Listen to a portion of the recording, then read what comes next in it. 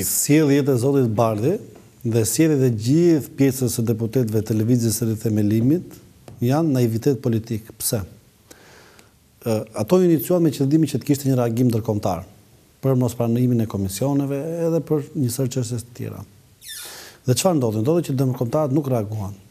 Pra që do të thotë në momentin që nuk ka një reagim, sepse do ata do ose do reagonin duke i thënë që të ulin tonet dhe të ulen në bisedime ose do reagonin duke i thënë qeverisë që duhet të rishikohen kërkesat e deputetëve të opozitës. Dakor? Në moment që s'ka reagim do të thotë që sjellja jote nuk prodhon nuk prodhon aksion politik. Pra duhet një strategji tjetër. Ne kemi thënë dhe në emisionin tënd dhe në emisionet tjera që Kjo është një sjellje e vjetër politike. Nuk përbën më një risi për qytetarët ose për subjektet që kanë akses në politikën shqiptare. Bëhet fjalë për grupet e interesit, bëhet fjalë për shoqërinë civile, bëhet fjalë për përfaqësitë e shteteve aleate dhe ndërkombëtare.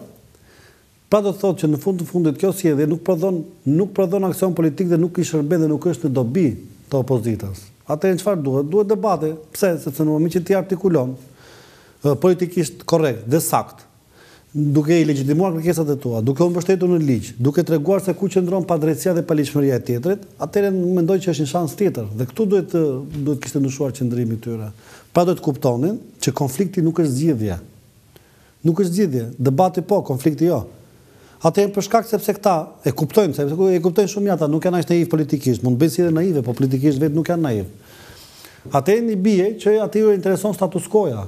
I intereson status quo-ja, nuk e di se për çfarë qëllimesh, do të tregojë koha dhe koha është është dëshmitari më i mirë i gjërave, po kanë tendenca, kanë tendenca të cilat janë në në dëm të interesave të popullit opozitar.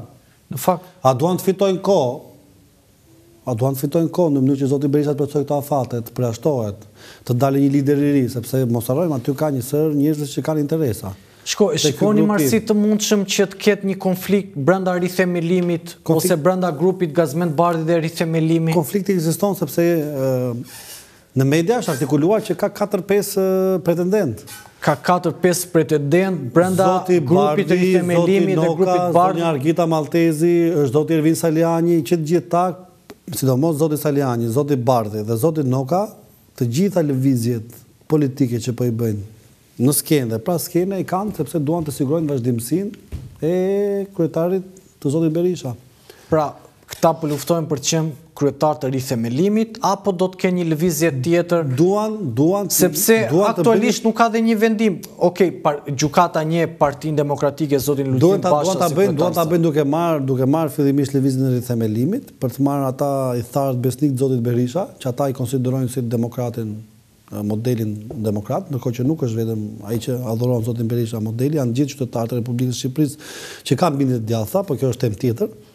Dhe mendojnë që ai do jetë orteku që do rrotullohet për të marrë dhe pjesën tjetër.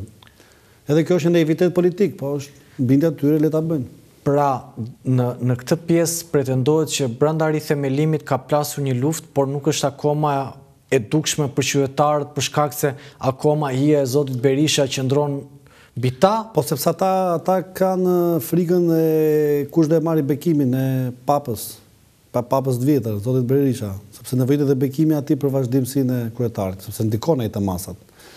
Dhe kjo është e gjithë. Edhe gjithë këta presin se kush do jetë në fund ai që do bekohet. Pra në momentin që zoti Berisha do të dalë nga skena politike, Të gjithë këta luftojnë kush do jetë personi i cili do jetë në krahun e tij për të deklaruar daljen në mënyrë që të marri pozicionin e vazhduesit. Marsit, mund ta shkrijë fare kjo luftë që ju po thoni rithemelimin, sepse dhe vetë lëvizja e zotit Berisha, apo kur u krijua ajo ishte për zotin Berisha, pra mbështetësit vajtën aty prej narrativës zotit Berisha. Por duhet të kuptojmë që në politikë koha ndonjëherë Të zhvlerëson dhe lëvizjet kur ti nuk i mban premtimet e dhëna dhe ne e dimë që zoti Berisha tha pas gjashtë muajsh do rrëzojmë Ramën, më pas erdhi katërmbëdhjetë maj tha aksi Tiranë Elbasan Durrës është i padiskutueshëm por në fakt pësoi humbje, sot mundet kjo luftë ta shpërbëjë dhe atë bërthamë që ka rithemelimi?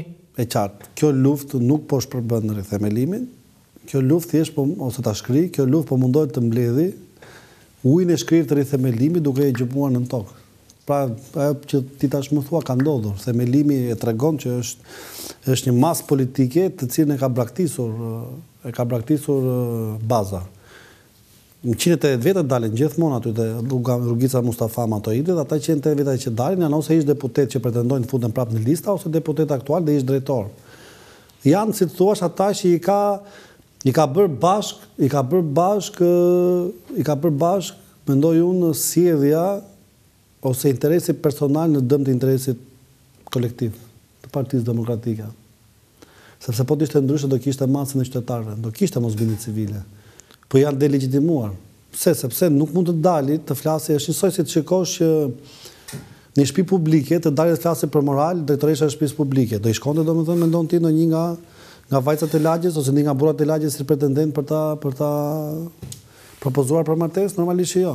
Në fakt, po në qoftë se... Dhe zoti Berisha, bashkë me ata që dalin dhe flasin aty, po po aprovon vetëm një një një një aforizëm të cilin unë e besoj. Ai thotë që predikusi më i madh është shkelësi më i madh në politikë.